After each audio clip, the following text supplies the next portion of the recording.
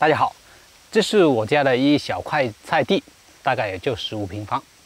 这边种的是茄子，这边种的是扫把树。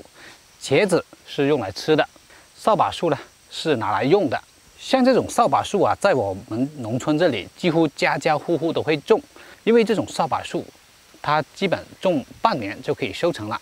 种出来之后，它比较大，像一个扫把一样，所以说呢，我们都拿它来。